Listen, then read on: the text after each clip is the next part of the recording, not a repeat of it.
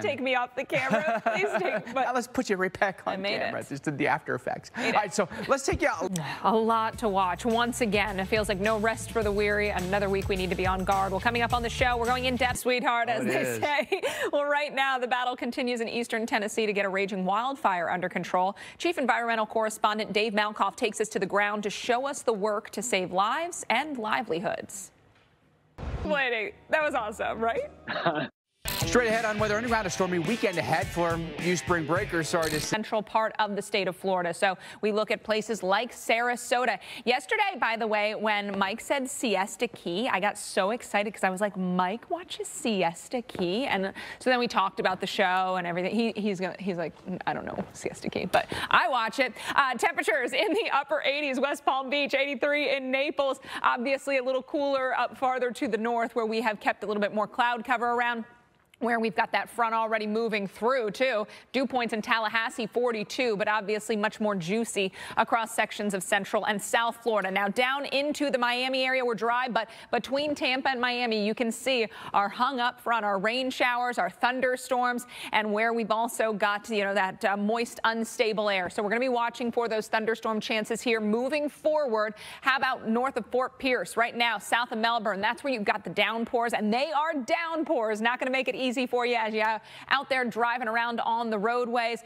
We've got thunderstorms uh, also bringing plenty of lightning. So when thunder roars, go indoors. You know the deal. West Melbourne, a report of flooding 6 to 12 inches deep along the roadway there. And at Melbourne Airport, 6 inches of water across uh, Apollo Boulevard. So again, we've seen already some road flooding in some of these communities thanks to these very, very healthy and bountiful downpours. When we look at our future radar, where is that rain going through the afternoon and into the evening? We'll see those scattered showers, thunderstorms, especially persistent in the east coast later today. But look what happens overnight and through the day tomorrow. Another round of showers and thunderstorms, really from north to south. And that could bring yet another opportunity for severe storms. Mike, looking at Orlando to Fort Myers, Siesta Key, not quite as in the zone. So Counting, can you believe it? We will celebrate our 40th anniversary on May 2nd this year. It's a big deal. So we hope you uh, stay with us here leading up to the big celebration. Uh, we've got some more clips. We've got some historic storms, historic events, historic bloopers.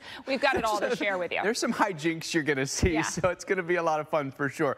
Uh, we know that this month has, uh, March, I should say, is now April. March was one heck of a month. It really all was. All kinds of severe weather from beginning to end. Yeah, the start of the month, the, the first weekend was very active, and then we ended the month with really two weeks in a row of active, severe of weather. So, uh, you know, they say march in like a lion, out like a lamb. Not the case this year. No. In like a lion and out like a lion. You know, you take a look at some of the damage that we saw too, right? And how about an early March deadly tornado outbreak rips through central Iowa, killed seven people. How, how about some of the damage here in Winterset, this town just outside of Des Moines? The National Weather Service rated this an EF4. Winds were 170 miles an hour. Yeah, and it was the first EF4 in the state since 2013. So yeah. for years it had been since they'd had a tornado that strong. Now, Iowa, there is that storm as it made its way through. Again, this was the early part of the month, but you can see the uh, very, very noticeable supercell thunderstorms that did bring that. Uh, EF4, that's getting up into really high territory, and unfortunately,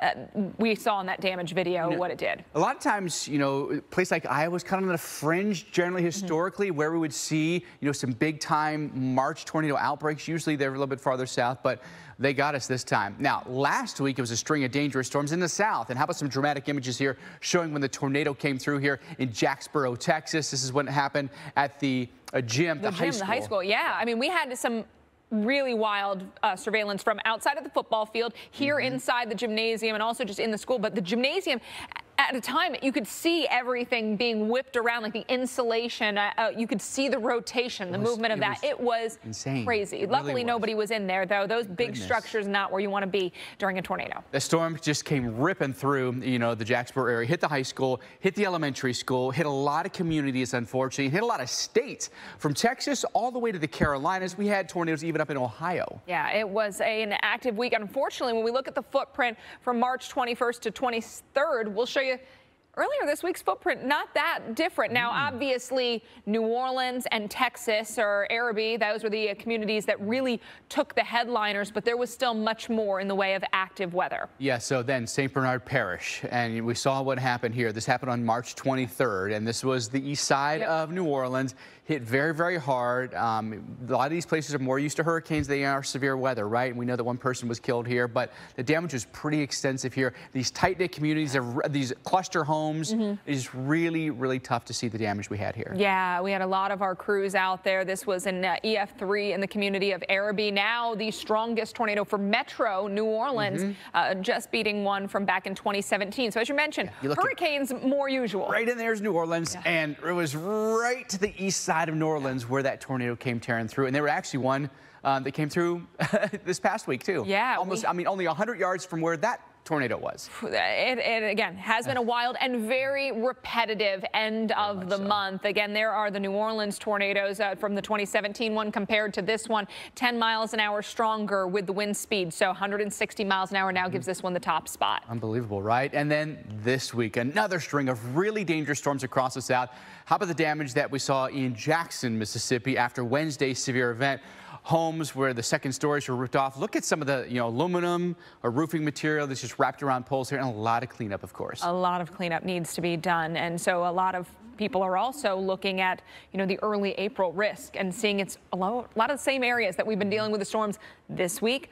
Last week. So, what's in store for next week? Well, unfortunately, it does look like next week will encompass a lot of these areas. Now, again, climatologically speaking, it makes sense, but boy, we could use a break. We'd like to be able to catch Yeah. our breath here for just a second, right? But knowing the risk ahead of time hopefully can put you at ease a little bit here because if you're doing the right things, you're paying attention to whether you have a safe place picked out, you can be in really good shape here. You take a look at the European model. Some heavy rains also forecast here. Same with the GFS model. So flooding may go hand in hand with the storm threat next week. Yeah, you know, we've seen some localized flooding issues today in Florida, but with more heavy rain coming to areas that were already drenched over the mm-hmm. last few weeks, I'd be watching parts of Louisiana, Alabama, Mississippi, over to Georgia as well. Yeah, we need some time to dry out, no question. We come back here on the Weather Channel, a look at your forecast for the weekend and a sneak peek at what the forecast holds for next week. And the snow, actually snow falling today. This is not a joke, although you're like, yeah, April 1st. It's it's not nearly late enough for us to totally discount any opportunities for snow. So we've got the snow back into Buffalo. We've got snow into parts of North Country New York, even as far south as the mountains of West Virginia. So getting down into the southern part of the state, parts of western Maryland seeing some snow. So some of the areas that we're watching for storms yesterday now getting in on wintry weather. Same for eastern parts of Ohio and western Pennsylvania. Now this could cause you some trouble on the roads in terms of snow squalls. Be ready for bursts of very heavy snow. Temperatures have been in the upper 30s, so I'm not anticipating, you know, the roads to get crazy slippery, but you get all that snow co- coming down very, very quickly, and that's going to reduce visibilities, and that can lead to the accidents like what we saw earlier this week. You can see those snow showers, those bands of snow showers will continue even into Saturday morning. I think by late Saturday morning, things are beginning to quiet down across the area, but if you're up early in a place like Syracuse, still could see some snow. How about Grand Rapids? You're sitting at 33 with snow showers, Detroit 38 with clouds, Alpena in the upper 30s. Next clipper coming in through the weekend going to offer snow to the Great Lakes region. So get ready for more winter weather opportunities if you are in parts of Wisconsin or Minnesota or Iowa or northern Illinois. Another round of rain and snow headed your way. So we time it out for you there as we get into the late part of tonight. We've got a little wintry mix possible around Minneapolis, Des Moines. It's just rain, but that area of snow overspreads portions of Iowa and Wisconsin, even northern Illinois as we move into Saturday morning, moving over into lower Michigan by Saturday afternoon. So places like Grand Rapids seeing snow or a rain snow mix. For Detroit, I think you'll see some rain snow uh, showers mixed together, ending with a few snowflakes. By Sunday morning, things are quiet across much of the Great Lakes, with the exception of the eastern ones. That's right, more snow showers headed your way into sections of New York and PA. Not how we wanted to start our. It seems like his reputation precedes him Yeah. when it comes to hurricanes, right? But I- Makes I, am kind of not welcome in parts of Florida during the hurricane season Oh, either. I'm sure if Yeah. people see you, they're like, Wait a second. Same thing. Why are you here? Why are you near my home? Exactly. So, but one of the more fun promos yeah. that air here on the Weather Channel, part of our uh, 40 days of 40 years celebration here. May 2nd, our official 40th anniversary here on the Weather Channel. Yeah, pretty wild stuff. We've got a lot of fun planned, so I hope you'll stay tuned for all the the enjoyable moments. I think there's even some old school Dr. Knabb in there. Yeah, there's some home movies of me watching Weather Channel, watching the Tropical Update back in the day oh. that are 40 years I old. I cannot wait to see I that. bet. Well, you know, we've been following a lot of weather stories, even up to this week. And earlier this week, something that really made headlines was this accident. People just narrowly escaping some, some significant injuries or, or worse there, right? But raises the question, how do we alert drivers in particular of a pending danger like this? Because inherently we're in our cars, it's hard for us to get the warnings. So many of us are concerned about being a distracted driver these days, right? We're kind of ignoring our phones in the car. And that, that's where we're getting the warning, right? Yeah. Right. And I feel like technology can really be part of the solution here, such that, you know, if on, on many smartphones now, when you route yourself, it will tell you, you've just routed yourself into an area that's under some kind of weather warning. Mm -hmm. And so I, I could think that for some folks, that when you're driving along, if you are headed toward or your route takes you through a snow squall warning, it can reroute you around it and you know, go to the next exit. And that could be part of the solution. It makes sense. You know, I think one of the pitfalls of this is sometimes you look. Wall warnings are short fused, like tornado warnings, like severe thunderstorm warnings or flash flood warnings.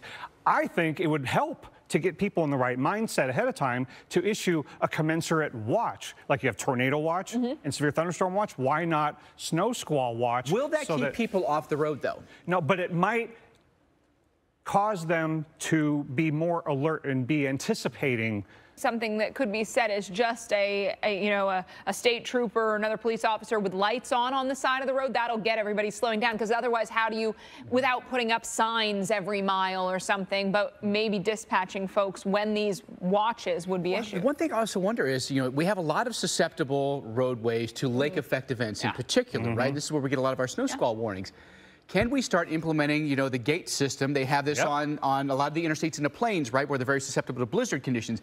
Can we preemptively close highways for periods of time where we can avoid something like this. I think, yeah. uh, to me, I think about it just kind of logically big picture. If you had closed this highway, mm -hmm. six people would still be alive today. Right. Right? Um, and yeah, you, we, you, you close it for six hours. Yeah, right. And, there's hours, often, and then you open it back up. Yeah, and there's often objections to preemptively closing right. roads, but would we rather do that or have a big accident pileup end up closing the road? Either way, right. a lot of people have to get diverted and wait. Let's do it without people getting hurt. It's a, it's a, it's a, you know, it's, it's a big choice because a lot of these were trucks. So you see the argument of, hey, yeah. things need to get places, but There's ultimately got to be a better way. Safety. There's got to be a safer yeah, way. Absolutely. Safer way. All right, we got much more.